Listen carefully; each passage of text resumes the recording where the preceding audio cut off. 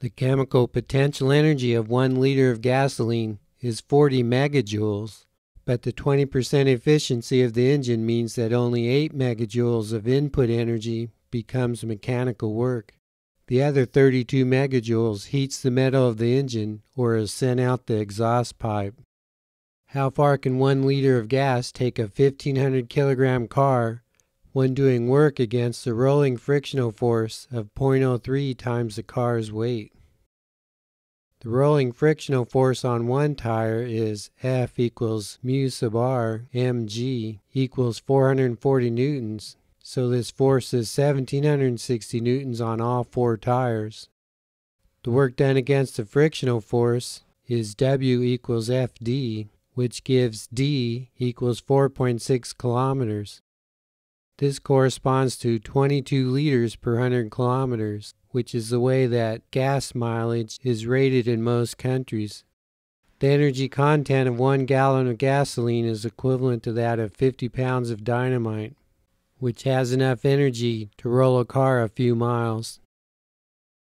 Please press pause to read through these tips for saving gasoline.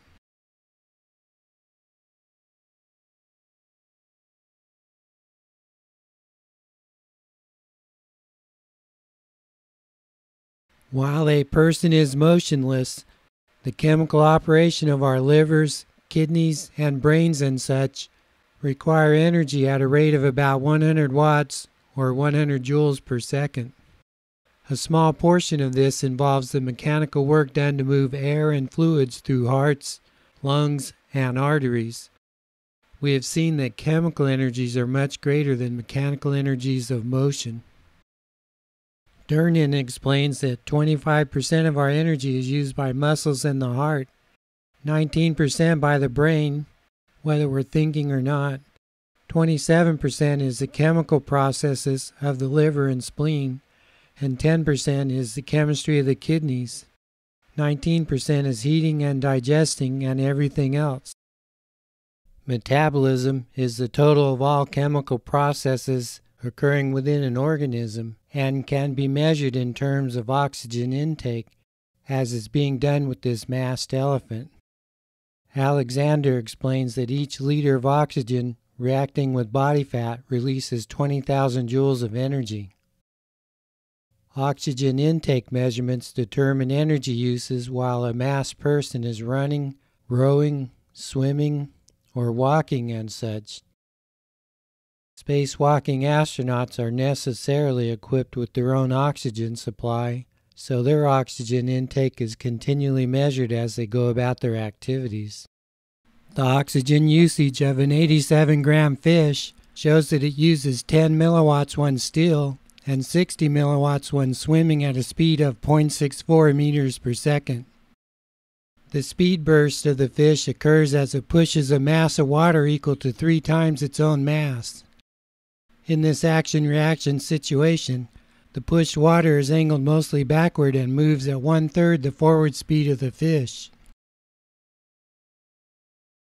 The basal or resting metabolic rate R of an animal depends on the number of cells that it has and so varies with mass as R equals m to the 3 quarter power, which is Kleiber's law. What is the ratio of rates for a 100 kilogram person and a 15 kilogram dog? Please show that the ratio is 4. Mammals keep warm with body hair, but upright walking uniquely warms us human beings. As our primate ancestors became bipedal, they lost body hair. This is known to have occurred 3 million years ago because the DNA of head and pubic lice diverged some 3 million years ago. Human beings are one of the few species that can run for long distances. A deer runs faster than a person, but only for a few hundred meters. A deer will run when it sees a person. Our gatherer hunter ancestors could run down a deer by repeatedly getting it to run one short distance after another until it became overheated and could run no more. Across many species, the surface area A of an animal varies with its mass as A equals m to about the two thirds power. a creature retains heat through its volume and radiates heat through its surface area. Mice and cats have little volume, so they retain little heat. For example, I know one cat who likes to stay in the attic, which is 130 degrees Fahrenheit. Our babies are all surface area and no volume, so we use many blankets to keep them warm. Animals over 100 pounds hold more heat than they radiate away. When adults feel cold or hot, children and small pets will not agree. Human body temperature is 37 centigrade or 98.6 Fahrenheit. We adults are better at heating than cooling our bodies. We more easily bear an outdoor temperature that is 50 degrees Fahrenheit cooler than our bodies than we bear 2 degrees Fahrenheit above our body temperature. Energy is stored in a material as the kinetic energy of motion of atoms, so heat is another form of energy. The average kinetic energy of the atoms of a material is related to the absolute temperature T of that material by 1 half mv squared equals 3 halves kBT, where kB is Boltzmann's constant which serves as a conversion factor between energy in joules and temperature in Kelvin. The ideal gas law is a work energy equation and can be written in terms of the total kinetic energy of atoms, the volume of the gas, and the pressure P, which is work per unit volume. This is Radhakrishnan's comparison of the energy per meter that animals use to swim, fly, or walk. Walking species lie along this line, flying species along this line, and swimming species lie along this line. It takes more energy per meter to walk than to fly, and it is easiest to swim. You may have found that the slightest push sends a kayak many meters across the lake. In their report, the mechanics of six legged runners, Full and Tu, explain that despite differences in body form, the mass specific energy of 0.9 joules per kilogram meter that an animal uses to walk a given distance is the same for insects, crabs, mammals, and birds. This energy usage scales with body mass and is relatively independent of body form, leg number, and skeletal type. For example, a 5 kilogram cat uses 5 kilograms times 0.9 joules per kilogram meter equals 4.5 joules per meter, and a 6,000 kilogram elephant uses 900 joules per meter. When this cat eats one ounce of fat, which contains 1,130,000 joules of energy, how far will this enable the cat to walk? The cat converts 10% of that energy, which is 113,000 joules, into useful muscle motion. The distance that the cat can move is given by x equals 113,000 joules divided by 4.5 joules per meter equals 25,000 meters or 16 miles. Eating one ounce of fat supplies enough chemical energy to enable this cat to run around for a few days, exchanging chemical for kinetic energy in search of another ounce of fat to eat. We can be moving animals because stored chemical energies are much greater than mechanical energies of motion. How far can a 100 kilogram person walk from that ounce of fat? Please show that the answer is 0.8 miles. A 6,000 kilogram elephant could walk only 20 meters. This is the Harris Benedict equation. In the year 1919, they published their report, A Biometric Study of Basal Metabolism in Man. They measured the age, height, weight, and basal metabolic rate of a large number of persons and then fit the data with this equation. Here is equation for males or females given in the US or the metric systems. For example, here is the calories needed per day by a male and female, 18 years old, 5 foot 8 inches, 150 or 110 pounds. Males use 1750 calories per day, while females use 1370 calories per day. with a moderate infection, males need 2150 calories and females 1670 calories per day. We noticed that a slight sunburn makes you feel as tired as if you had run a marathon because it takes a lot of energy to build a few grams of cells. Stored chemical energies are much greater than mechanical energies of motion. Add 20% to this amount to account for your mechanical motions. Go to this website and enter your height, age, and desired weight, and you will know how many calories per day that you need to eat. No matter what your starting weight is, after some months you would weigh the amount selected. The amount we eat is five times more influential on our weight than is our activity.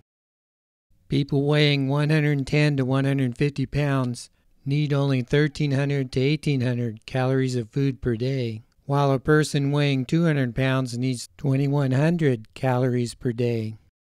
Food labels in the U.S. say that an average person needs to eat about 2,000 calories per day, which is 10.5 million joules per day. But the average person in the U.S. eats 3,600 calories per day. On the average, those of us in the U.S. should eat about half as much as we are eating. A restaurant sized plate of food provides a day's worth of energy in a single meal. About 80% of the trouble with our weight is due to portion sizes. The lack of exercise accounts only for the remaining 20% of the problems caused. Each day, we eat about 10 handfuls of food, each having 200 calories. The energy content of various foods differs by a factor of only 2 to 5, rarely 10. For example, we get a day's supply of energy by eating either one pound of meat or six pounds of potatoes. We store an energy of 270 big C calories equals 1.1 million joules per ounce of fat. The textbook links to the U.S. Department of Agricultural website for a list of the caloric, fat, and nutritional contents of most every food.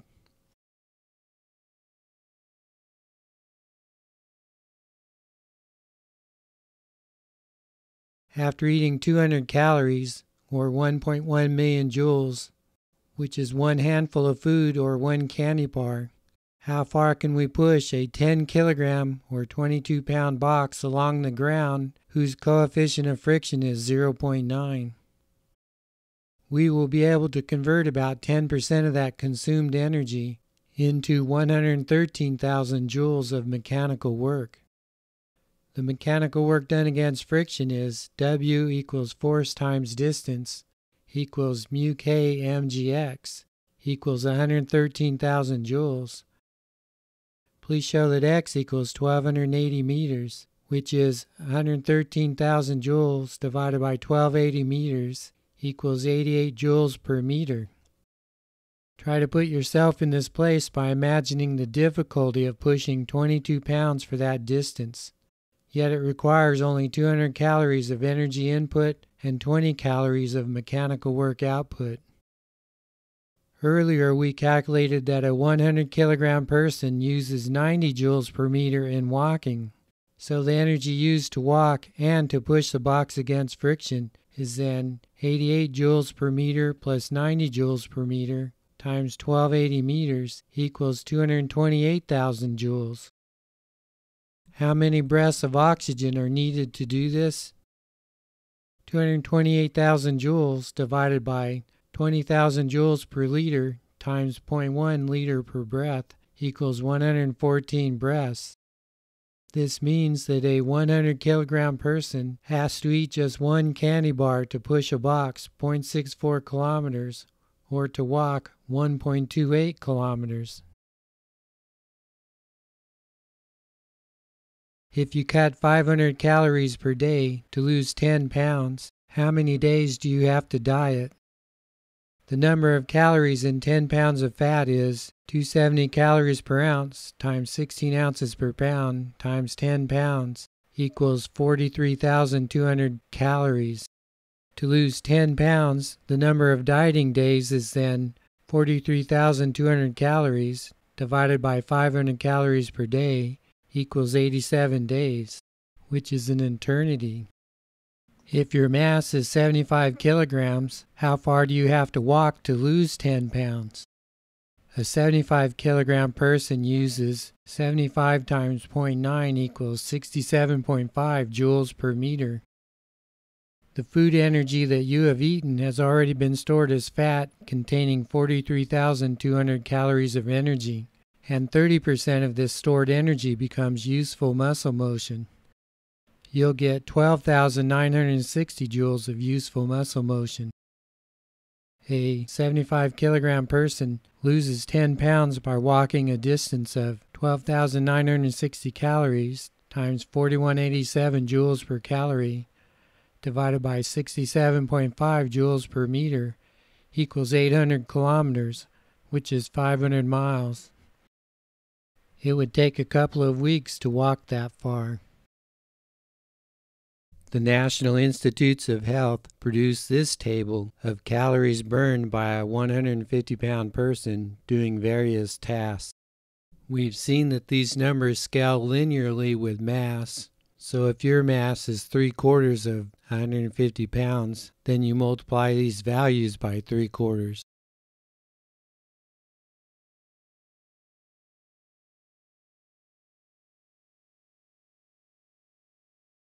Heat energy is the thermal motion of the atoms and molecules which comprise the material.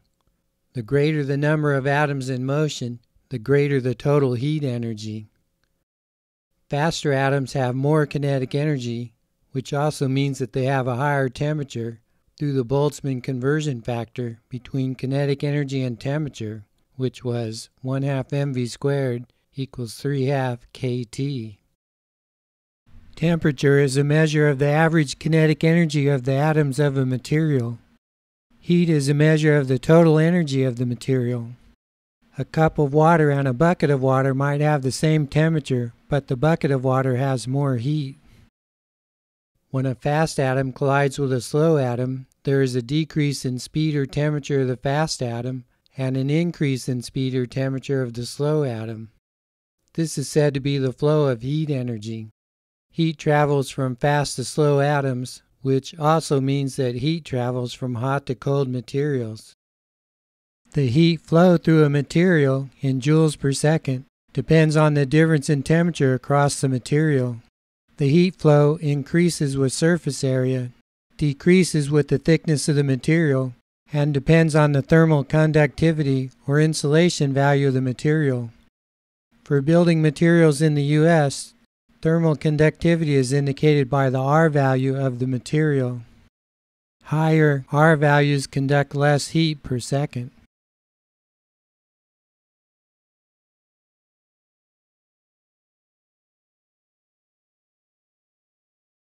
Air flows into and out of your home through cracks in walls and window mounts and around doors and electrical outlets. If you put your hand near an electrical outlet, you can feel the airflow. The air in your home is completely replaced a few times per hour, and this incoming air must be cooled or heated, preferably with a heat exchanger. Of the energy flowing out of your home, 45% goes through cracks in walls, window mounts around doors, and electrical outlets. 20% flows through the basement and 15% through the walls. This heat loss is reduced by using insulation having a higher R value. 15% goes through the window area. This heat flow is reduced by using double windows or by shading or covering the window during the summer and covering the window in winter. A shade tree works wonders to cool the house in the summertime. 5% of the energy goes through the roof. This heat loss is reduced by using attic insulation having a higher R value.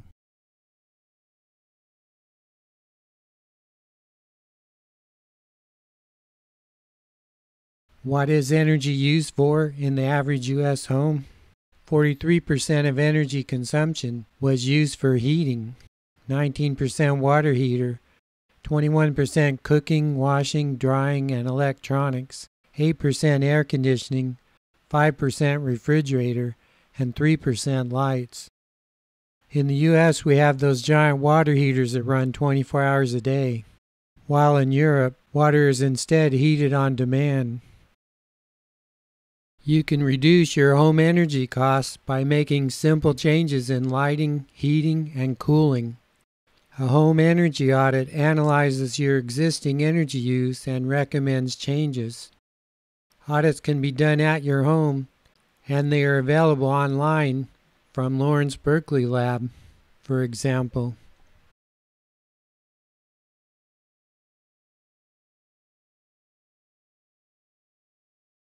Here are the sources of energy that are consumed in the U.S. Petroleum, natural gas, and coal still supply the lion's share. In recent years, the nuclear share has shrunk from 20% to 8%. For the first time ever, renewable energy supplies a slightly greater portion than does coal. How is the produced energy put to use?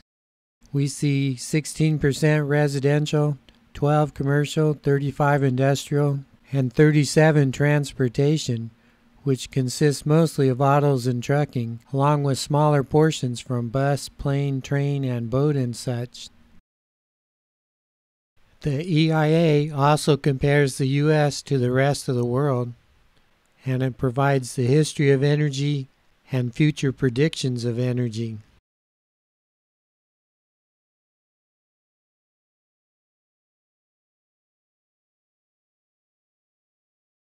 The sun converts energy stored as mass into the energies of motion, heat, and light. Sunlight spreads out in all directions. The Earth receives 2 times 10 to the minus ninth, or 2 billionths, of the sun's energy output, so the sun could power 1 billion Earths.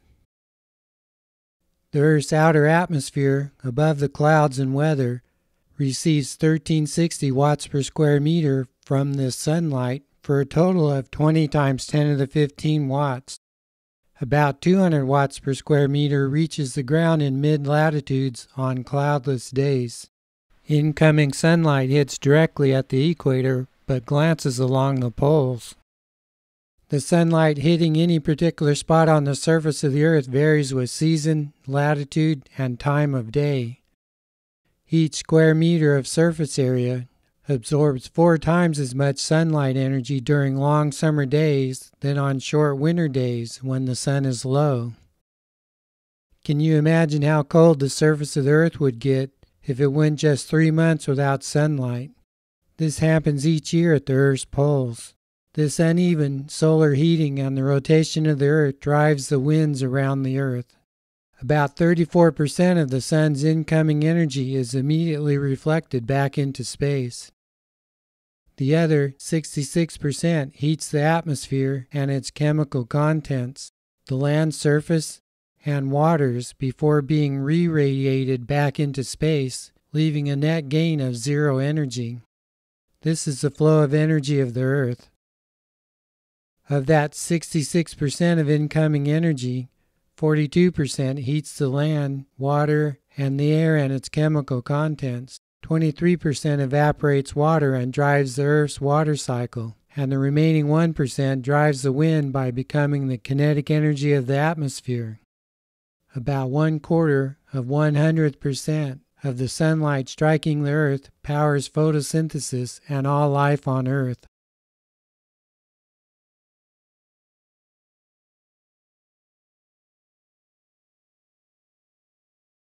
Of the sunlight falling on the earth that is absorbed by plant life, about 10% of this energy becomes stored chemical energy within the plant.